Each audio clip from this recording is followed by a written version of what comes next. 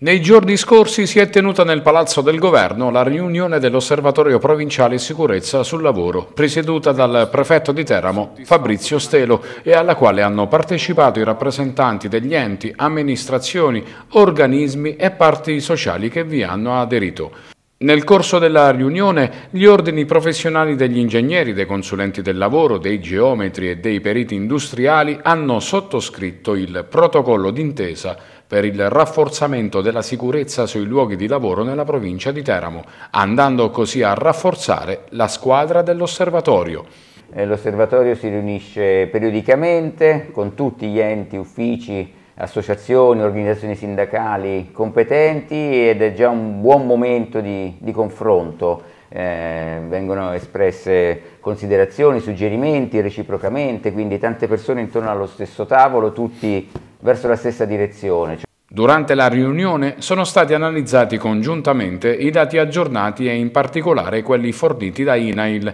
Ispettorato Territoriale del Lavoro e ANCE, relativi agli infortuni sul lavoro e alle malattie professionali.